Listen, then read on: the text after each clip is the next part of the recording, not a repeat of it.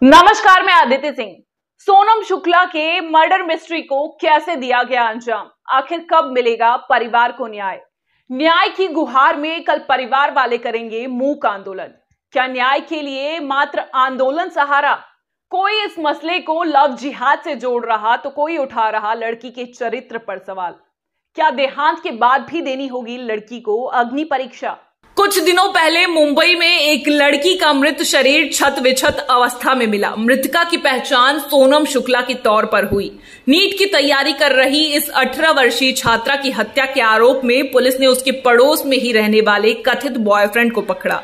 आरोपी की पहचान 23 साल के शाहबेज के तौर पर हुई। आइए जानते हैं कि ये पूरा मसला क्या है। 25 अप्रैल की शाम को चार बजे सोनम शुक्ला ट्यूशन जाने के लिए घर से निकली थी।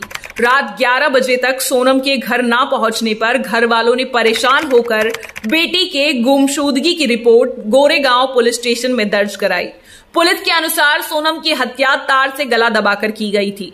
28 अप्रैल को वर्सोवा समुद्र किनारे बोरे में बंद एक लाश मिली। इस बात की सूचना पुलिस को मिलते ही पुलिस वहाँ पहुँची। जिसके बाद पता चला कि मृत शरीर लड़की का है और उसके हाथ पैर बंधे हुए हैं। शव की हालत काफ़ी बिगड़ चुकी थी, जिस वजह से लड़की को पहचान पाना काफ़ी मुश्किल हो गया था। शव की पहचान करने के लिए पुलिस ने शव की तस्वीर को पुलिस व्हाट्सएप ग्रुप में शेयर किया। तब जाकर कहीं पुलिस को यह पता चल पाया कि इसी कदकाठी की लड़की की गुमशुदगी की रिपोर्ट गोरेगांव पश्चिम से दर्ज कराई गई है। फिर क्या था? शव की पहचान करने के लिए सोनम के परिजनों को बुलाया गया। शव को देखने के बाद इस बात का खुलासा हुआ कि ये लड़की कोई और नहीं, बल्कि 18 वर्षीय सोनम शुक्ला ही है। शुरुआती जाँच में पता चला कि जिस दिन सोनम गायब हुई थी, उसी रात तकरीबन 11 बजे सोनम के आसपास में रहने वाला लड़का, जिसका नाम शाहबेज अंसारी है, स्कूटी पर एक बोरी रखकर ले जाते हुए दिखा था। इतनी बात पता चलते ही पुलिस ने शक के बिना पर तुरंत शाहबेज को उठा लिया। और पूछताछ के दौरान पता चला कि थोड़े ही देर बाद अंसारी ने इस पूरे हत्याकांड का सच उगल दिया। अंसारी ने यह भी कहा कि वो सोनम को चाहता था, इसलिए उसने सोनम को उस दिन अपने घर पर बुलाया था और वह घर पर अकेला था। उसके माता पिता भी घर पर नहीं थे। जब सोनम अंसारी के घर पहुँची तो सोनम और अंसारी के बीच किसी बात को लेकर नोकझोंक शुरू हुई।